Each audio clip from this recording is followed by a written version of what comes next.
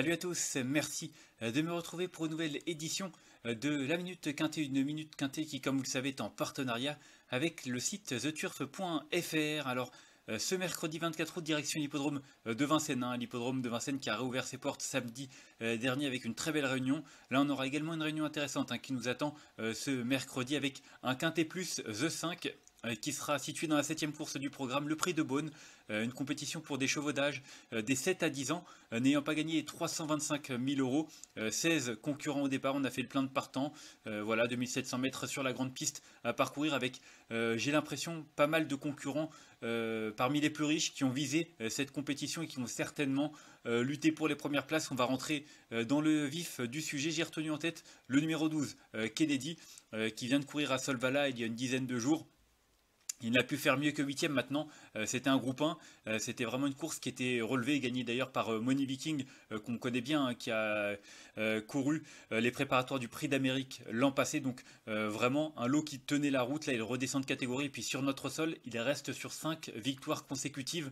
On va même d'ailleurs retrouver une course référence. Regardez le 17 juin où il battait plusieurs de ses rivaux, Heading Reference ou encore 55 Bond, qui détiennent ici une première chance. donc le lot est à sa portée là, il sera déféré des quatre pieds. Euh, Gabriel et Germini, euh, qui le connaît parfaitement, je pense qu'il peut reprendre sa marche en avant et renouer très sûrement avec le succès. Ensuite, en deuxième position, j'ai suivi la course référence, hein, le 14 Heading Référence qui avait fini deuxième euh, de Kennedy le 17 juin. Euh, je l'ai retenu également deuxième euh, cette fois-ci. C'est vrai qu'il a été préparé avec soin pour cette course, je pense. la dernière fois, il terminait huitième sur l'hippodrome des Sables d'Olonne. Il était ferré, confié à Tristan Ouvry. je pense que c'était vraiment la course de préparation par excellence. Vous le voyez, hein, quasiment 320 000 euros de gains. Le plafond est à 325 000. une course fermée avec ses gains et ouverte au, candidature européenne, je pense qu'il trouvera pas beaucoup mieux euh, au niveau de l'engagement ce heading référence. Jean-Michel Bazir, le patron euh, qui reprend euh, son cheval en main, je pense vraiment que ça sent bon et qu'il devrait lutter au moins pour une place sur le podium. Ensuite, bah écoutez, j'ai continué avec le numéro 15, un 55 Bond, euh, qui a terminé quatrième hein, dans la course référence. Il était loin hein, durant le parcours, il avait pris son temps au départ. Euh, c'est vrai que ça peut être un petit peu euh, son talon d'Achille, hein, le départ avec 16 concurrents au même échelon. maintenant, lui aussi découvre un engagement de choix, déféré des quatre pieds. vous le voyez, il reste sur 3 victoires lors de ses 5 dernières sorties et 2 quatrièmes places. Vraiment un, cheval qui se montre très régulier, qui est en grande forme. La dernière fois, c'était pas mal du côté de, de Cagnes. Il a gagné euh, l'avant-dernière fois lors de son retour sur la Côte d'Azur. Et puis la dernière fois, c'était pas si mal. Hein. Il a été un petit peu pris de vitesse euh, dans une course euh, menée par Charlie Delaunay. Puis il a quand même tracé une belle ligne droite. Il m'a bien plu. voilà, Christophe Martens déféré des quatre pieds. Son entourage n'a pas caché sa confiance. je pense qu'on peut lui faire également confiance pour au moins une place dans les 3-4 premiers.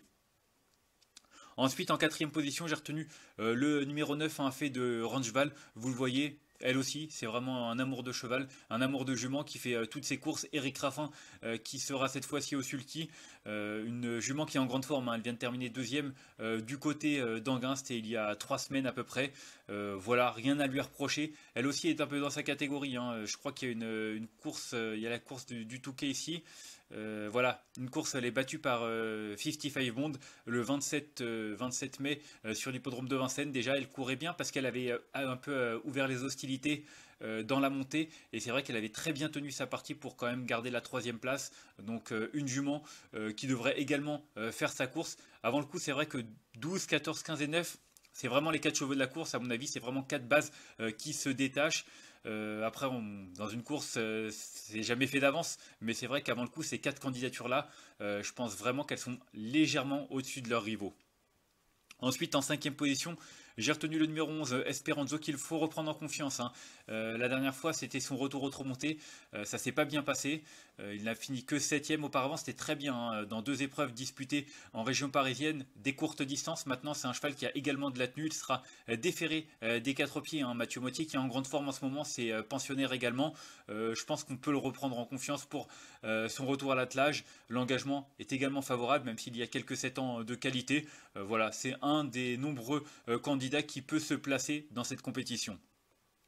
Ensuite, en sixième position, J'ai tenté le numéro 16, Duc du Lupin, qui a été réclamé hein, il y a quelques, quelques semaines par son nouvel entourage et qui se montre vraiment plaisant depuis. Hein. Il fait vraiment plaisir à son entourage. les deux dernières fois, c'était sur l'herbe.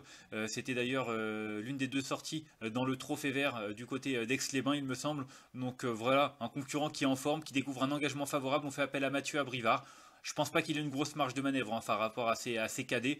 Maintenant, vu la qualité de l'engagement et la forme du cheval, ça peut être amusant de glisser euh, dans un champ réduit. Ensuite, en septième position, j'ai retenu l'As, favori de Liton, un concurrent qui s'est retrouvé. Hein, il a eu du mal un petit peu à retrouver la bonne carburation en début d'année. Euh, il avait couru notamment dans des épreuves support de GNT. Là, les dernières fois, c'était vraiment bien.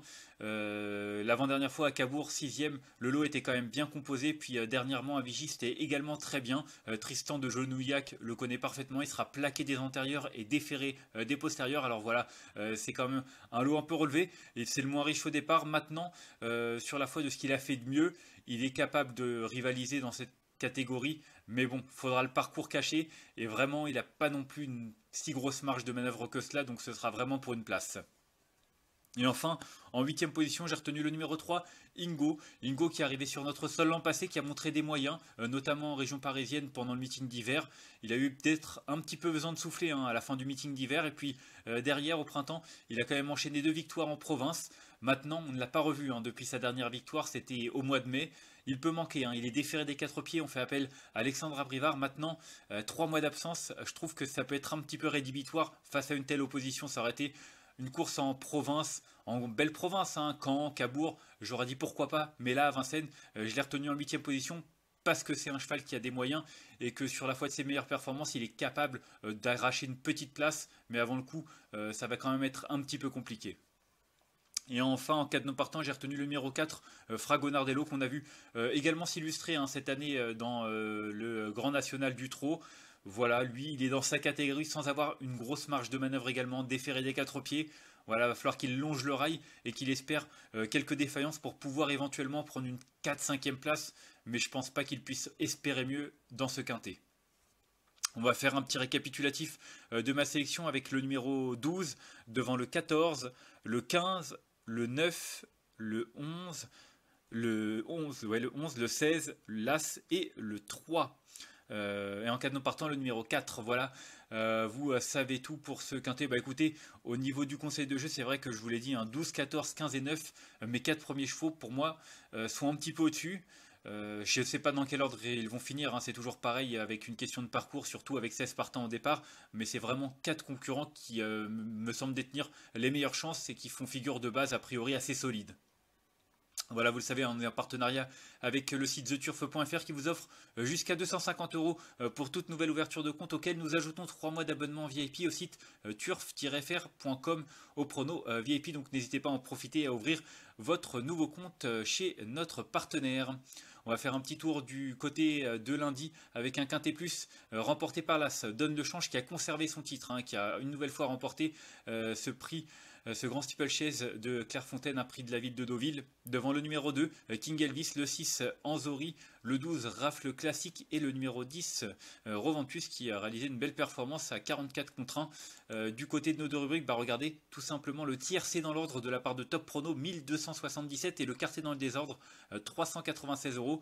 une belle journée de notre rubrique Top Prono qui vous a quand même euh, donner euh, des rapports très intéressants. Voilà, je voulais tester nos deux rubriques à partir de 1 euro euh, par mois. Regardez, même Tour Sélection qui vous indiquait deux, trios, dont un qui faisait afficher plus de 400 euros. je vous l'ai dit, 1 hein, euro par mois le premier mois. L'offre découverte, n'hésitez pas, c'est sans engagement. Voilà. je vous remercie d'avoir suivi cette nouvelle édition de la Minute Quintée. Si vous avez aimé cette vidéo, n'hésitez pas à la liker, à la partager ou encore à vous abonner à notre chaîne YouTube en cochant la petite cloche. vous pouvez également laisser votre pronostic en commentaire. Il y a un tirage au sort parmi tous les commentaires chaque mois avec à gagner 6 mois d'abonnement VIP au site turf-fr.com. Moi je vous retrouve demain pour une nouvelle édition euh, de la Minute Quintée. D'ici là je vous souhaite de bons jeux à tous et une bonne journée. Bye bye